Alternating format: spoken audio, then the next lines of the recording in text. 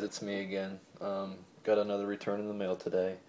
Uh, this one took 43 days. Um, it was a baseball package that I received.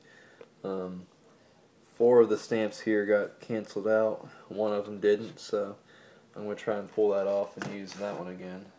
Um, but uh, 40 day return. This is a uh, second return from Mariano Duncan. Uh, last time I sent him a few baseball cards.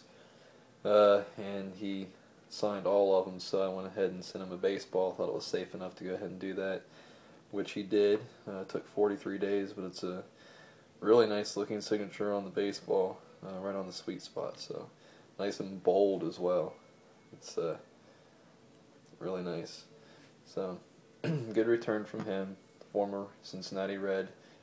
Um, and I also decided to go ahead and buy a couple of football car- uh, packs of football cards, um, trying to send some to training camps, I guess.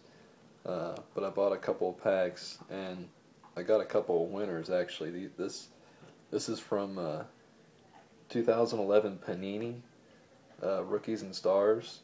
This is what the base card looks like. Nice white background. They look really good. So those would be nice to get uh, signatures on. Probably look pretty nice on them anyway. So I'm going to try and send a couple of these out. See if I can uh, get some signatures on these. That would look really nice in this white, mostly white background card. Kind of like the Allen and Ginters. So uh, see what I can do there. Um, thank you guys for watching and uh, hope you had good luck at the mailbox today. Thanks.